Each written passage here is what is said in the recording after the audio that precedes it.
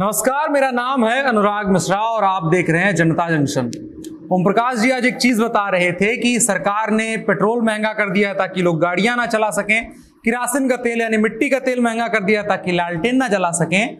और अब एक नई बात उनको पता चली है कि सरकार चुपचाप बिजली में भी दाम बढ़ा दे रही है ताकि घरों में बल्ब बनाए जलाए जा सकें। अब इसकी क्रोनोलॉजी क्या है, ये हमें नहीं समझ में आई, लेकिन खबर पर चलते हैं। कुछ दिन पहले खबर आई थी कि देश में कोयले की कमी है, जिसकी वजह से ब्लैकआउट हो सकता है। हालाँकि ब्लैकआउट तो नहीं हुआ, लेकिन एक और खबर निकल करके सामने आई।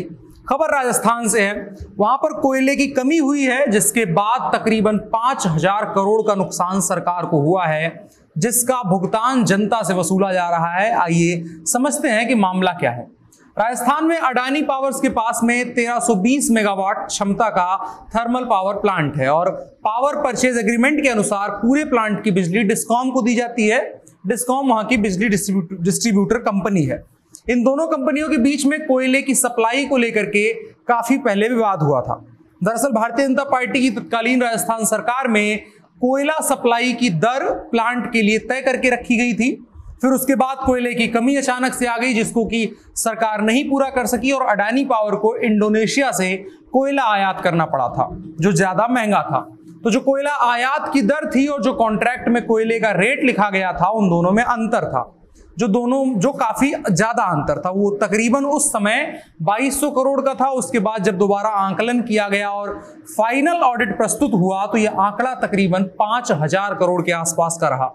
फिर अडानी पावर ने इस डिफरेंस अमाउंट की मांग करी मतलब अडानी पावर ने कहा कि जो अतिरिक्त पैसा खर्च हुआ है, विदेश से कोयला मंगाने में उसका भुगतान डिस्कॉम की तरफ़ से उसे कर दिया जाए।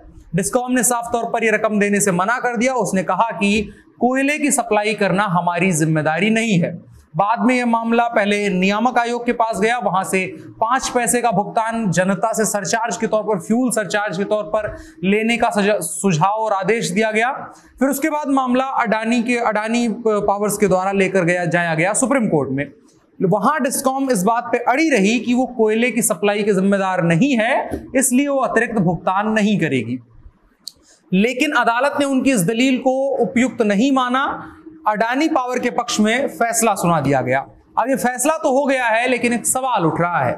बात यह है कि जो अतिरिक्त पैसा डिस्कॉम को देना पड़ रहा है, उसको जनता से वसूल रही है। कंपनी सितंबर 2019 में कार्यक्रम शुरू करती है, जिसमें प्लान के मुताबिक 36 किश्तों में ग्राहकों से पाँच पैसे प्रति यूनिट की दर से फ्यूल सरचार्ज वसूला जाएगा जिससे कि 2426 करोड़ रुपए के अंतरिम भुगतान की वसूली हो जाएगी।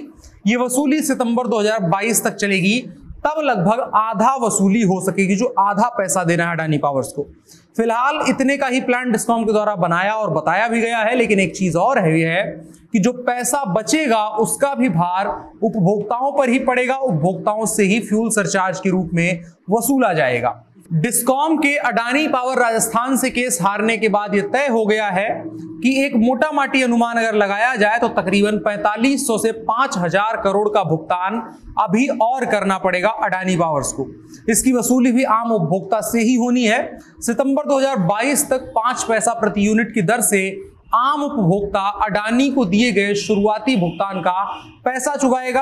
अब आगे विशेष फ्यूल सरचार्ज का दोगुना पैसा वसूला जा सकता है, यानी ये जो अभी पाँच पैसा सरचार्ज लिया जा रहा है, उसको दस पैसा किया जा रहा है, किया जा सकता है। अब यहाँ पर सवाल उठ रहा है कि जनता को बिना बताए गुप्त रूप से उनसे अपनी गलतियों का खामियाजा भरवाना कितना सही है? सरकार के मंत्री कह रहे हैं, ये कांग्रेस सरकार का काम नहीं है, ये भारतीय जनता पार्टी की सरकार का काम है, उनके समय में ये हुआ था। लेकिन सवाल यहाँ पर यह नहीं है कि किसके सरकार का काम है, किसके नहीं। सवाल बस इतना सा है कि आम जनता के ऊपर तमाम भारी भरकम टैक्स और वसूलियाँ करने के बाद भी सरकार का पेट नहीं भर रहा है। तेल को इतना महँगा कर दिया गया है, तमाम उसकी आम ज़रूरत की चीज़ों को इतना ज़्यादा महँगा कर दिया गया है। उसके बाद भी जो लापरवाही सरकार की, जो ज़िम्मेदारी सरकार की कंपनियों की है, वो गलती का जो नुकसान हुआ है, उसकी भरपाई करने के लिए भी सरकारें जनता का खून चूसने का रास्ता अपना रही हैं। अब इससे जुड़ी हुई कोई और खबर आती है, हम आपको उससे ज़रूर अपडेट करेंगे। अगर आपको ये जानकारी पसंद आई है तो और भी लोगों के साथ साझा करें और जागरूक करें कि कभी भी कोई भी चीज़ जब आप सेवा ले रहे हैं तो उससे जुड़ी हुई पर्चियों को पढ़ें और देखें कि कहीं आपके साथ कुछ भी ऐसा अतिरिक्त आपको बिना बताए वसूला तो नहीं जा रहा है। मेरा नाम अनुराग मिश्रा है, कैमरे पर मेरे साथ ओम प्रकाश हैं। आप जनता जंक्शन देख रहे हैं। शुक्रिया।